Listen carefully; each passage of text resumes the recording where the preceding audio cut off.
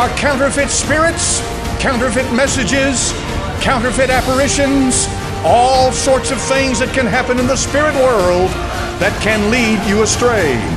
But the living Word of the living God is illuminated by the Holy Ghost.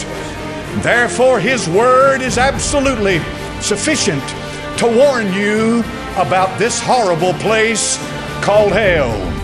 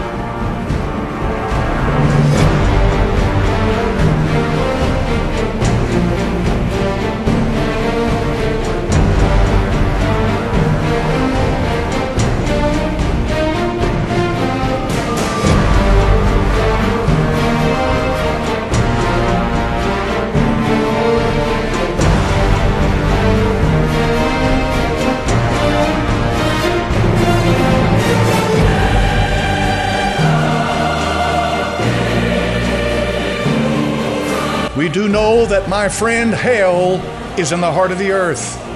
We do know from the Word of God that the Lord Jesus Christ preached more on hell than anyone else that ever walked upon the face of this earth. If you died right now, you'd find yourself probably in the greatest shock that you could ever imagine. For some of you do not believe there is a hell. You've been told that when man dies, he dies like a dog, and there's nothing that lies beyond the grave. Nothing could be further from the truth. The Bible does not try to prove anything to you, it simply makes a statement and declares these things to be. I can look beyond the grave. If you die without the Lord Jesus Christ, you will lift up your eyes, falling in a pit. You will be falling headlong down, down, down into the pit of hell. It'll be the greatest shock that you ever had in your life because you do not believe that it exists. But you will not be able to deny the reality of the place that you have entered into.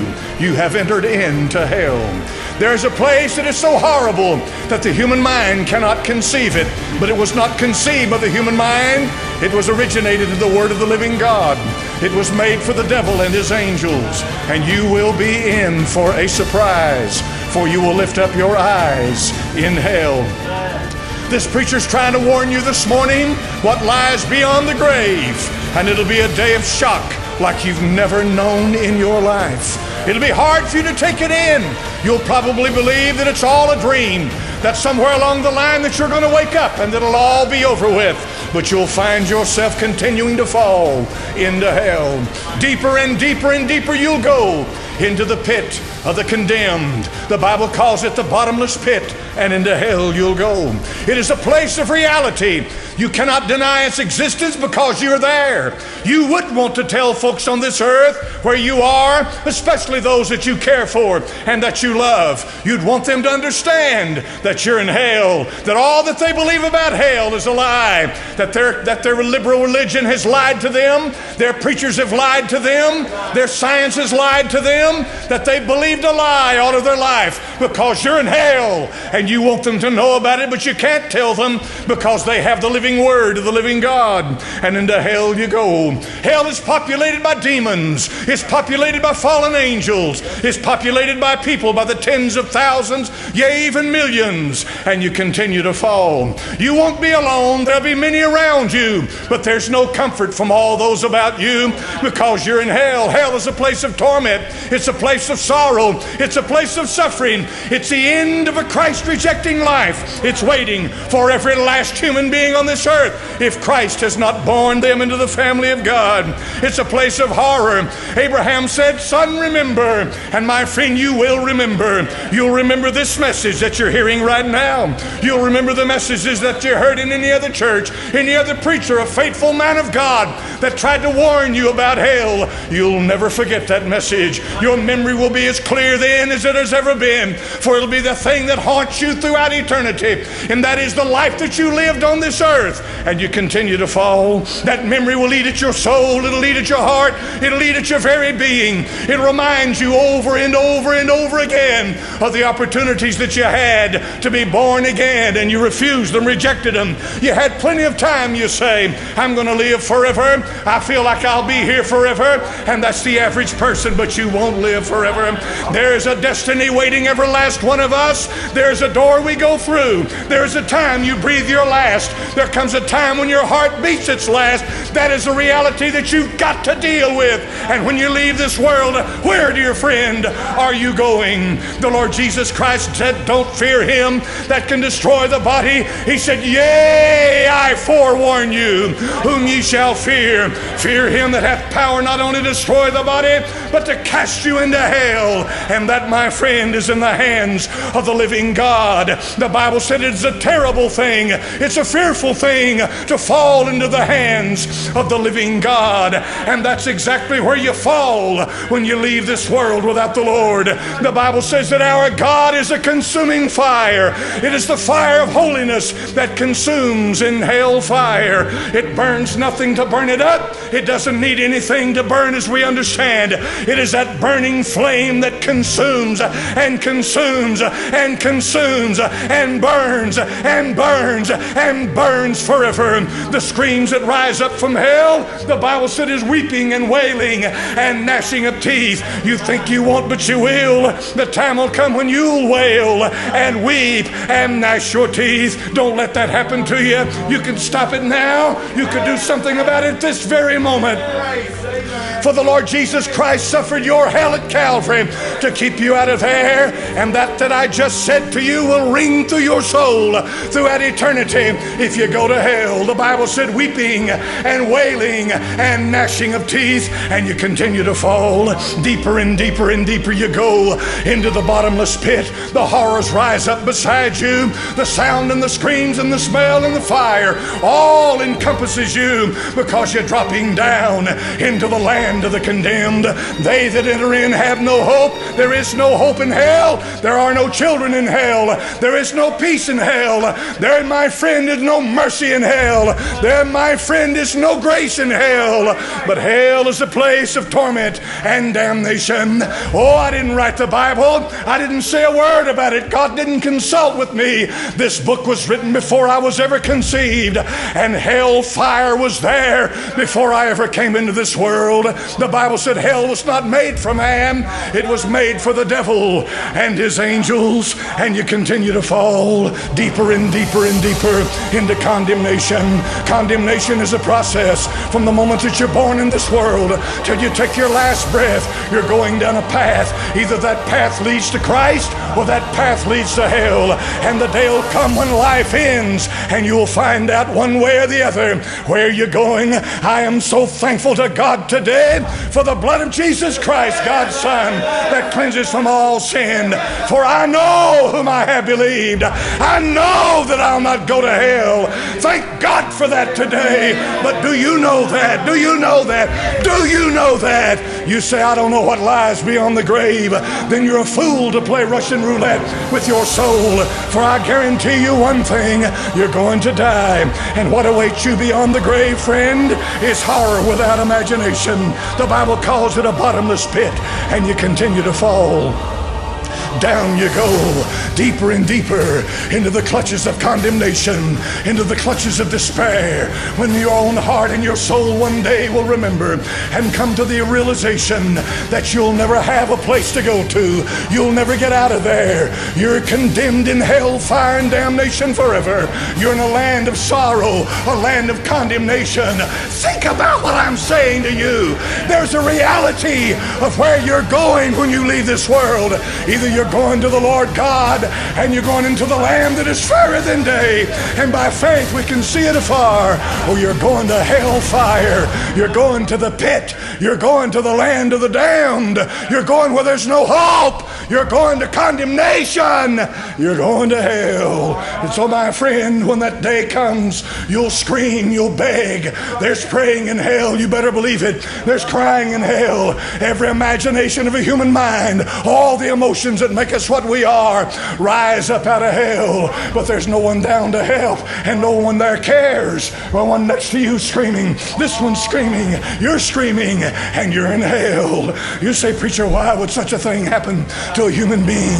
It's when you reject the Lord Jesus Christ, you refuse the sacrifice that was made for you, where there at Calvary, God, the Lord, the Son of God, took your hell into his body on the tree, and we deny him and we reject him every single day of our lives, and by doing so, write our own death warrant.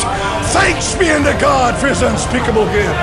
All that God requires of you at this moment is Lord Jesus, be merciful to me, a sinner. Why wouldn't you get up out of your seat?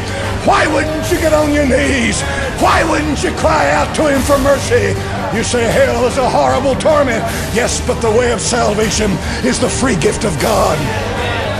And you can accept that or reject that. And that's the choice you make. And you're still falling. The rich man started falling 2,000 years ago. He's still falling. The bottomless pit will seal one day. And then a voice will rise from that pit. That voice will be heard at the great white throne judgment. The day will come when hell itself is opened up. The Bible said when that white throne is set, it'll be a day like earth and heaven have never known.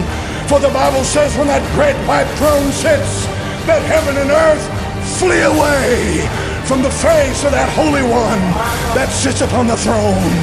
And hell will be brought up from its dregs. Hell will be raised up from its very foundation. Hell will rise to the top of the pit and be brought out into the presence of the great white throne judgment of God. And there you stand with the smoke and the torment and the condemnation all over your being. You'll be a reality that you wish a thousand times you could just cease to exist. But you've got to be brought before the great white throne judgment of Almighty God. And when He looks at you, the book is opened. And when the book is open, He searches for your name. And when your name is not found, you're cast alive into the lake of fire and brimstone. Hell itself, as horrible as it is, is headed to the lake of fire and brimstone. That means you will be cast kicking and screaming and begging into the lake of fire and brimstone. And when you sink into that lake, it is your eternal abode. The Bible said, Where their worm dieth not and the fire is not quenched, it says that the smoke of their torment ascendeth up forever and ever into the lake of fire and brimstone. And then from the minds of all that ever knew you, all that ever loved you, God will wipe your very memory from their mind. For those in heaven will not have to sorrow over you. It'll be, it'll be as though you never existed. And the Bible says, the memory of the wicked shall rot, and you'll be done for. All because of one simple thing that you could do this morning. You could come down here and lay your hand on that Holy Bible and say, Lord Jesus, I don't want to go to hell. I don't want to go to hell. Lord Jesus, keep me out of hell. And you've come to the right one. That's why he went to the cross. to keep you out of hell. How many more times do you have to be warned? How many more opportunities are you going to be given? How many more services are you going to sit through and harden your heart and stubborn your and stiffen, stiffen your neck to the truth of the Word of God? It's not this preacher that judges you. I am not capable or qualified. I don't have the right to. But it is this book that already has judged you. Won't you come out now? Come down here somewhere. Get down on your knees and say, Lord Jesus, there's a lot of things I don't understand, but I don't want to go to hell. If you'd come to Him with an honest heart, a sincere desire to not go to the pit, He'll stop it.